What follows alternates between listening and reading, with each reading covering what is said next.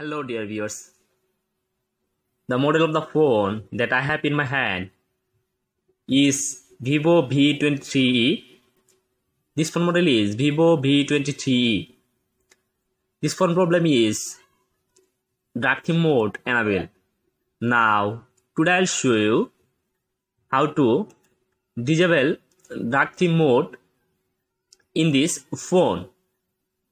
If you want to disable your theme mode would on this phone for this first you have to find the option called settings.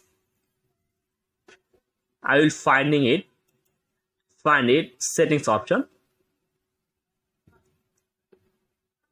When show find settings option then click on settings.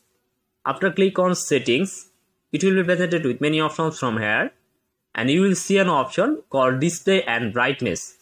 If you want to disable your dark theme mode, just click on display and brightness.